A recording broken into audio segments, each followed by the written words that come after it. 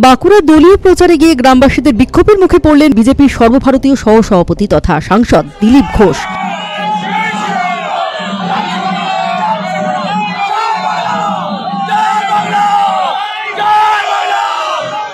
মঙ্গলবার বাঁকুড়া শহরের হিন্দু স্কুল থেকে পৌরসভার চব্বিশ জন প্রার্থীকে সঙ্গে নিয়ে পদযাত্রা শুরু করেন দিলীপ ঘোষ। দিলীপ ঘোষের পদযাত্রার মাঝেই ইন্দিরা গোড়ায় জয় বাংলা স্লোগান শোনা যায়। অভিযোগ, তৃণমূল নেতা তথা বাউরি কালচারাল বোর্ডের সভাপতি দেবদাস দাসের নেতৃত্বে দিলীপ ঘোষকে কালো ছাতা দেখান দলীয় কর্মী সমর্থকেরা। তার জেরে উত্তপ্ত হয়ে ওঠে পরিস্থিতি।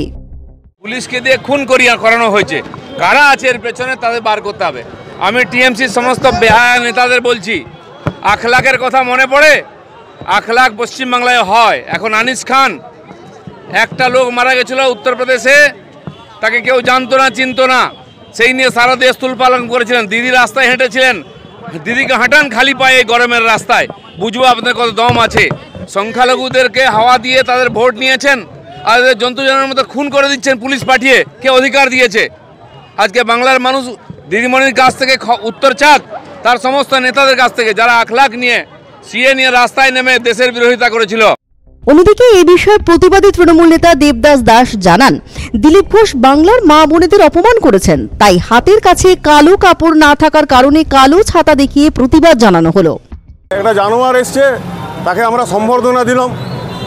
জানোয়ারটাকে জয় বাংলা স্লোগান দিয়ে। মামাটি মানুষকে অপমান করেছে মামাটি মানুষকে অপমান করেছে।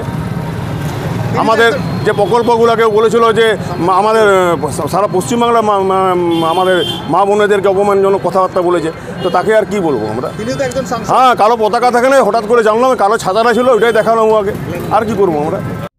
আগামী সাতাশ তারিখ রাজ্যে একশো আটটি পুরসভা নির্বাচন। তার আগে ক্রমশ প্রচারে ঝাঁজ বাড়াচ্ছে সমস্ত রাজনৈতিক দলের কর্মী সমর্থকেরা। বাঁকুড়ায় নিজেদের পায়ের তলার মাটি শক্ত করতে জেলা সফরে জোর কদমে প্রচার সারছেন বিজেপি সর্বভারতীয় সহ সভাপতি তবে এদিন বাঁকুড়ার প্রার্থীদের নিয়ে প্রচারে বেরিয়ে যেভাবে বিক্ষোভের সামনে পড়েছেন দিলীপ ঘোষ, তার জেরে চরম অস্বস্তিতে গেরুয়া শিবির। Bureau report Arohi news.